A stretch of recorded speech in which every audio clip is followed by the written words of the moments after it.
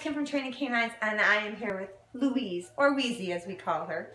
Um, we have been working with her with our imitation training, so we're going to try a little test here. Ask her for her sit, her stand. I'm going to try to get a second sit, and I'm also going to try laying. I don't think we'll get the laying, but I'm pretty sure that we can get the sit and the standing, right? Are we ready? Are we ready to do this? Thank you for kisses. Okay, Wheezy girl. All right. Wheezy, gotta look up. Wheezy sitting. Sitting. Good girl.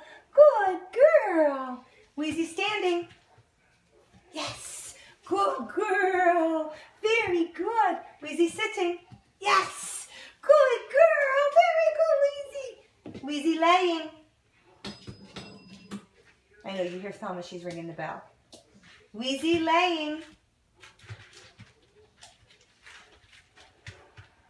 I'm going to give her a minute to process as she gets sidetracked because we have the attention span of a gnat right now. She's looking at the TV. I know we already watched it. Scratching is stress. So scratching is she's telling me she knows that I'm asking her for something, but she's just not quite sure what yet. Wheezy. Wheezy sitting. That's my shoe. Wait.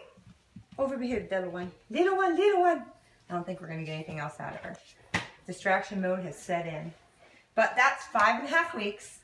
We did not lure them to train them. We taught them by watching TV. They sat, they stand, and we'll get our leg very, very soon. Thanks for watching, guys.